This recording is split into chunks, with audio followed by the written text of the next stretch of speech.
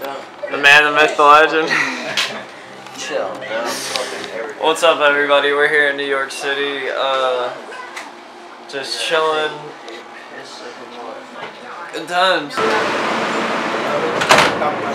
Good afternoon, everyone. Uh, my name is Beniculous. I'm actually a comedian. I'm not a male dancer. Lucky for you, I'm not going to be uh, doing all those cool tricks, but uh, I do have your attention, I guess. So might as well tell you some jokes, right? Yeah, let's do this. Um, yeah, I don't know about you guys. I love traveling. Traveling is a great time, isn't it? The best part about traveling, you don't have to bring shampoo or uh, conditioner, right? You just just use whoever's like you're staying at, right? That's the best part. You get to try out all new shampoo, conditioners. Hopefully you get to you know they got the good stuff, the organic stuff. You know, that's always a good time. Hey, how's it going, everyone? I was just doing a little stand-up comedy. I hope you guys don't mind. Uh, I was just talking about I was just talking about how it's it's awesome to use new conditioners and, sam- and shampoos, right? Especially if it's your friends, right? You can just use however much you want. And when you get some access on there, you, you know, you're like, what do I do with it? I already got my hair. So you start rubbing it in your, your armpit and stuff. You gotta you gotta get rid of it. You don't want to waste it, right?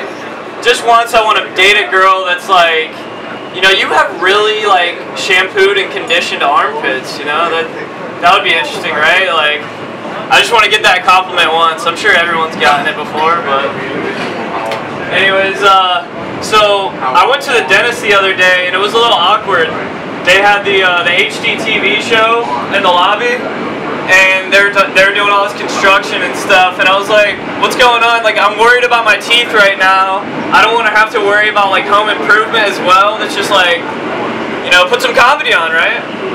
But um, anyways, so um, people were telling me I have really uh, really colorful socks. I guess I don't know. They're they're colorful. They're actually wool socks, so they're super practical.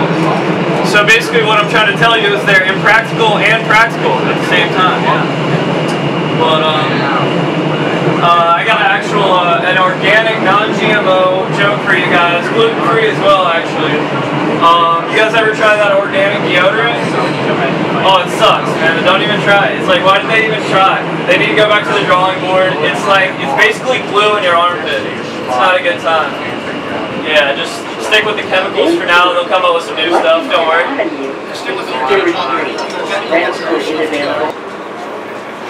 So, uh, guys, I'm actually a male dancer. I'm going to start using these poles, so I'm going to need everyone to clear out. I'm just kidding. I'm a comedian. That's lucky for you. But, um, so my friend, he, he lives in Harlem, right? And uh, you can tell he doesn't live with a girl because, like, he's got all these home improvement projects. Like, he's got the chemicals for the shower cleaner right next to the shower that, like, really needs cleaned.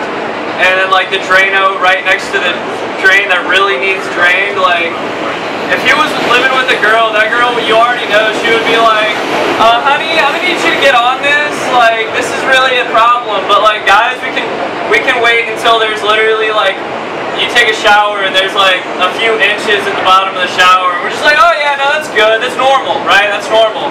We're good. We'll hold off.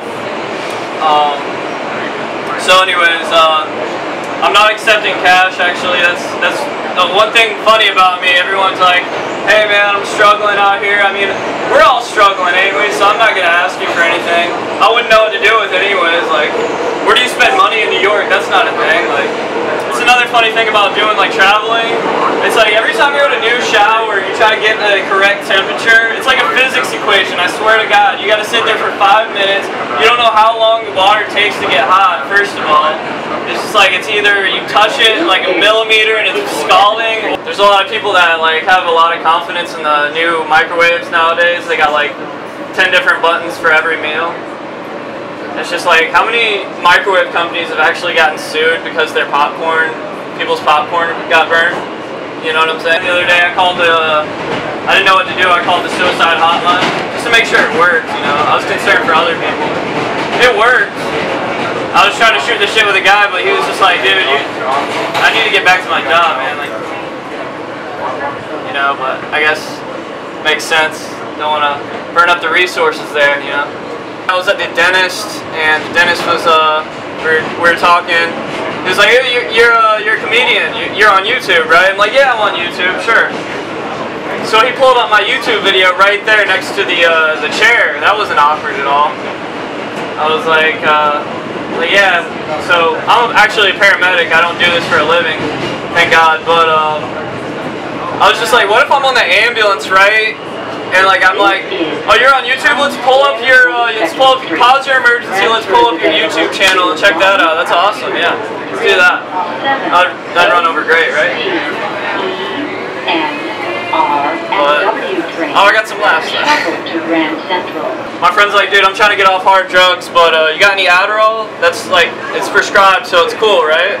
That's like, uh, yo, I'm on a, I'm on a diet, but you got any cheese fries, bro? Like, it doesn't have meat in it. Like, it's vegetarian. Do you want to switch or do you want to? Yeah, let's get off, I guess. Thanks, guys. So you guys like, no one here like really likes driving, right? Obviously for the subway, you know, because like, it, it kind of bothers me, especially in New York City. You get up to a stoplight and you're just looking at your phone for a second. The guy behind you, he sees you looking at your phone and he's waiting for the green light just to give you the honk, you know what I'm saying? But at the same time, I kind of like that because now I don't have to look at the stoplight. I'm like, okay, this is convenient, New York City. I think he's gonna give me, it's like one of my friends. He's like gonna tell me when the light's green, right? Um, anyways, I'm trying some new stuff, gonna bounce around. Um, why don't old people get uh, festivals? Like only young people can go to festivals? Like why why can't one time, why can't they have a festival in their retirement home? Like they just play all the games in one day, like bingo's going on.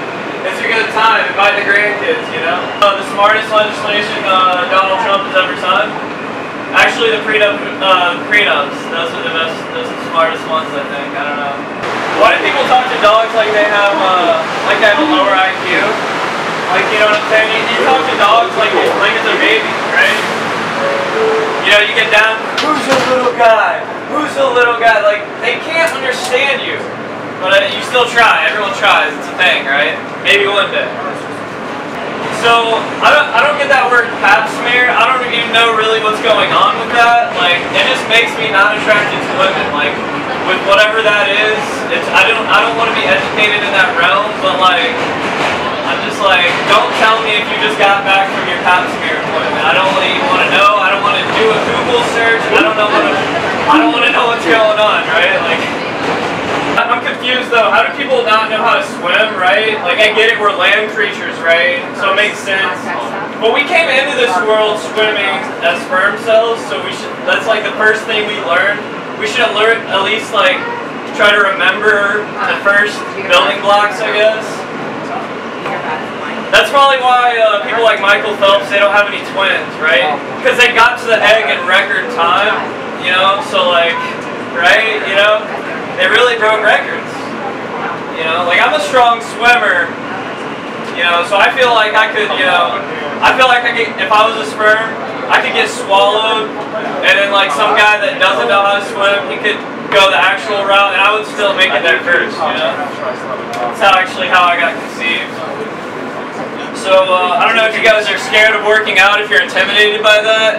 It's really not that bad. You know, you don't have to go to the gym with any kind of regimen. You can just go to the gym, show up, and find the biggest guy working on the machines.